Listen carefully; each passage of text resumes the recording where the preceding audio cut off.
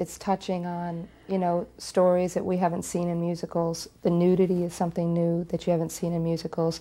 The style of dance, just, just what we've done with the choreography.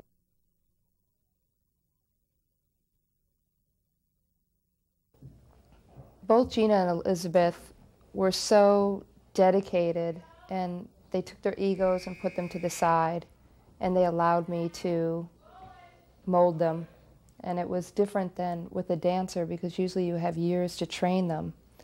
So with the numbers, especially with Gina, who hasn't had as much training as Elizabeth, it was giving her exactly what to do and drilling her over and over and over.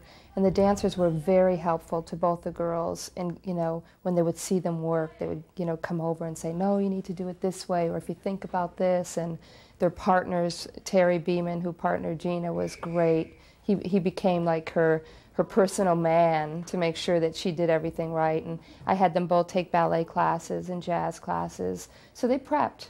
They did their homework and they worked hard and they cried and they laughed and we got through it. And they both look beautiful on screen. I'm very proud of the work they've done.